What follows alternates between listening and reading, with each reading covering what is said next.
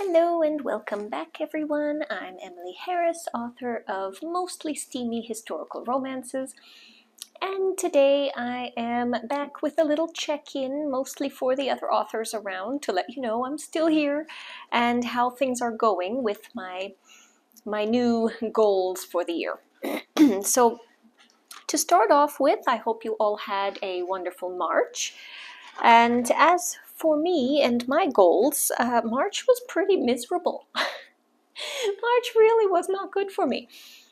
Um, on a few fronts, actually. I, I, have my author notes here that I'll share in just a second, but also on my health front. Unfortunately, I, I had been to the doctor about um, some, some troubles I was having, some digestive troubles, and as it turned out, the advice the doctor gave me just made me feel so much worse.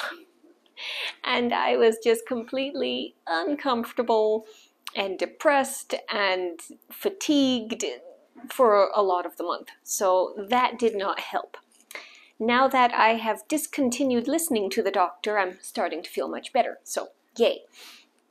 Also, I did put in a couple of weeks of a lot of work on my other website that I run, trying to get that back up and running so that dug into my time a little bit for the month. But how did I do on author things, on, on writing and the ads and all of that? Well, writing, terrible. Absolutely terrible. I think I had two good days of writing and then it all just disappeared. It evaporated. So I did not really make progress on my manuscript uh, this month. On the upside, I have taken in some editing work on someone else's manuscript, and that is going well. I, I was very excited about that. I was happy about that. So that's going well. And then on to the marketing side of things. I did get a another set of ads up and running to test and I did tweak a few things as far as budget just to experiment and see if it made much of a difference if I upped my budget. It did not and actually it turned out pretty bad because I lost a lot of money this month uh, experimenting and for I was basically trying to come up with the winning ad for a particular book. I have one ad that does really well for one of the books and the next in line of my initial tests, the next most popular book, is the one I'm trying to do ads for now. So I'm not entirely sure where I went wrong because according to the, the numbers on Facebook, on the Facebook dashboard, um, the numbers looked very good as far as click rates and all of that. Now, I admit I don't really understand how any of this correlates to sales. I that's one of the things that's always been a little bit iffy for me. I, I have noted certain key numbers with the one ad that I do have that does well as and I've kind of used that as parameters. So I know what my cost per click should be in order to stay in positive numbers. And I know my frequency of how many times someone sees the ad before things start to dwindle. So I have those basic numbers but at any rate, what I'm getting at was the numbers were good. the numbers were good, but the ad performance was not. The sales did not show that it was good. So now I'm kind of back to what do I do? Where am I going from here? And I had a couple of observations. For one thing, my initial thought on the new ad once I figured out which one was the winning ad for this set. My initial thought was, well, I've got plenty of people looking at it, I've got plenty of people clicking on it, but I'm not getting sales. So there must be some issue between clicking on the ad and buying the book. first I thought, well, maybe it's because I am using my BookFunnel links, so it's adding a, a second step. My, my sister pointed that out, that maybe people don't like that. They want to go straight through to the sales page. All right, so I changed the link. My other thought was, well, maybe they get to the sales page on Amazon and there's something wrong with the description of the book. They something in the blurb is not catching their eye and they decide not to buy it. So I was all set to go and start revamping the blurb, but but then I went back and looked at last month. Now, last month was not ideal either. However, the sales numbers were not that different. I did shut these ads off, I think, a little bit earlier. And so I did have a few a few fewer a few less sales of the books for, compared to last month. However, it shouldn't have made as much of a difference as it did in the overall earnings number. So then I had to look at the page reads because all of my books are in uh, Kindle Unlimited. And after some debate, I decided to keep them there rather than try to go wide with my books.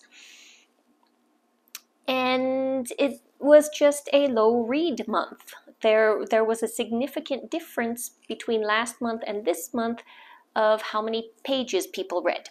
So I'm not really sure why. Maybe because last month was February, people were doing romance uh, bookathons and that sort of thing. I have no idea, but that did make a difference. So I still need to look at the description of my book. There's probably some way that I can improve it. And then I had a couple of other notes, or at least one. I think I mentioned one was the additional clicks. I did note in my newsletter, I did survey my newsletter and ask them if they like the way that I am doing the deals and promotions page. I used to do it the way everybody does it and put those things in the email itself me personally, I thought that was very busy looking and cluttered. Plus, I thought, well, if I create a dedicated page on my website, then I can offer more for those people who want to go shop the, the deals. So I did that, but I haven't really been get, getting a lot of engagement on that. And my, my promo reputation has been suffering over on BookFunnel and Story Origin because of that. So again, I thought, well, maybe people just don't like the additional click, right? And they do not, according to the survey. they don't want to mess with that, so I am going to go back to putting those things in the newsletter. Initially, I also did that to help me out with not having to every single week go in and change things, but apparently I can't get away from that.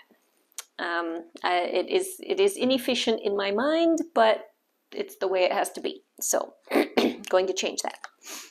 All right, so back to the ads.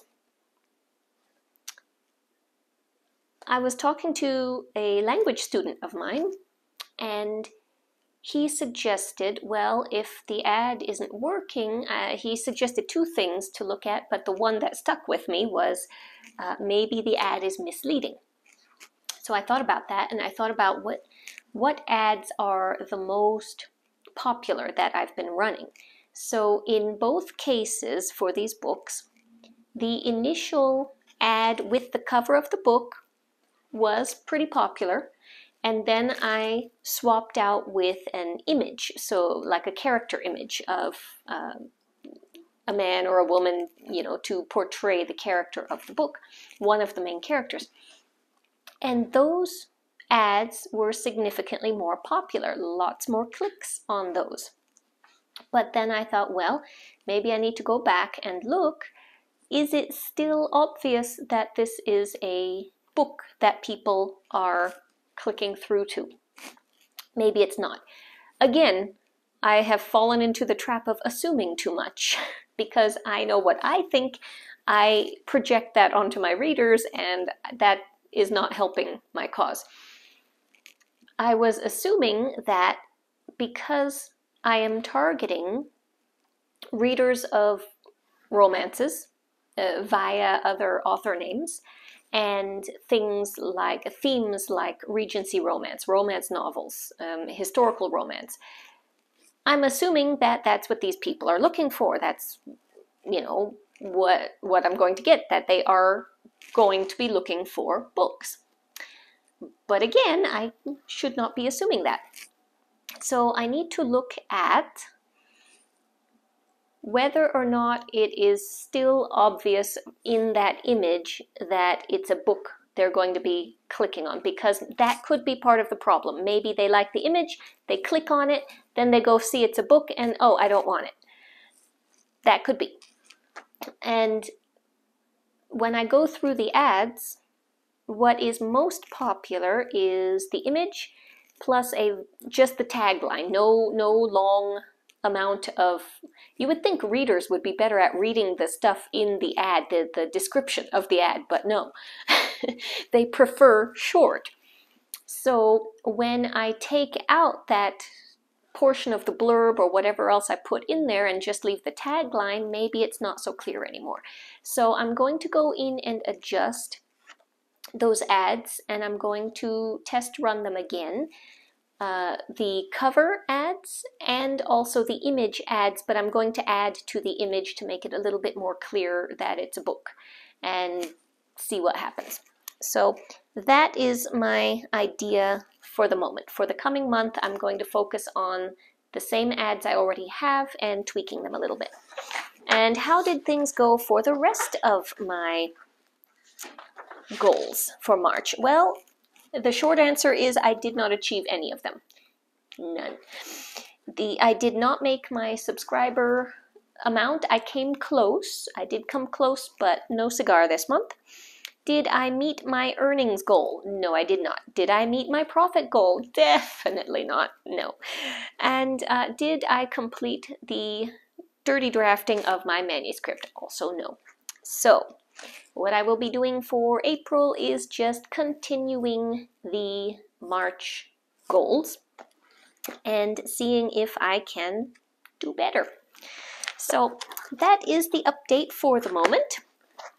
And hopefully one of these days I will have a more book related video since um, I, I, like doing these little check-ins and I do them just in case the other authors find them interesting but it was really not the thing I wanted to do with my channel to begin with so um, I don't want to only do these but anyway so I will see you the next time and let you know how it goes for everyone else. I hope that your goals are going well and that you are having productive months and I will chat with you soon. Until then, happy reading.